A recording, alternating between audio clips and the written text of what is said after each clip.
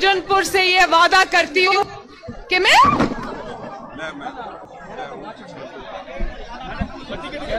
कोई बात नहीं।